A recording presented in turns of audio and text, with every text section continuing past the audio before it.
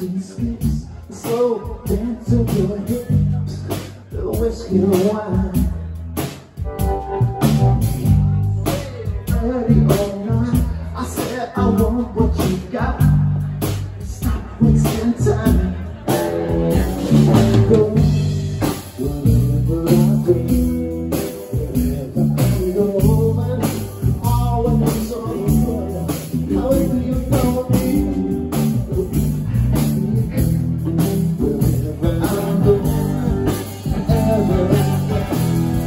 Oh.